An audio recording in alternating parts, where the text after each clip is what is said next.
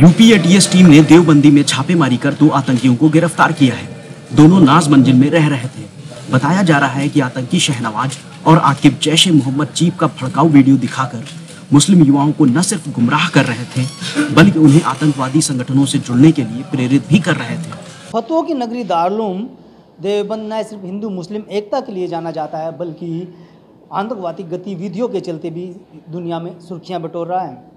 इस वक्त हम नाज मंजिल में पहुँचे हैं, जहाँ पर लश्कर मोहम्मद के जो आंतकी आकर रुके थे, आंतकी शाहनवाज और याकिब इस कमरे में आकर रुके थे। ये नाज मंजिल का ए फोर कमरा है, जहाँ पर एटीएस ने आकर छापेमारी की।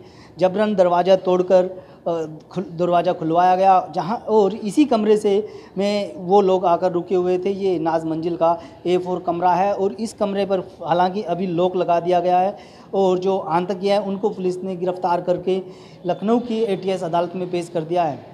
और पुलिस अभी उन्हीं से पूछताछ कर रही है कि इस, उन, इसके पीछे किसका बड़ा हाथ रहा है, उनकी क्या मंशा रही है, क्या यहाँ पर आकर वो किस घटना को अंजाम देने वाले थे।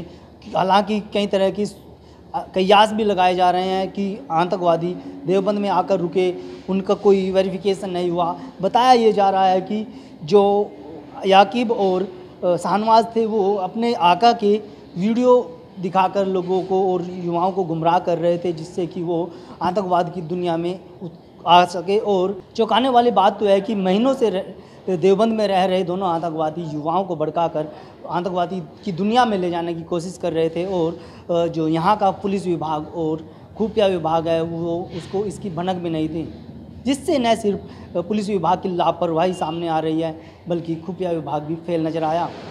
Roshan Lal Saini E T Saharan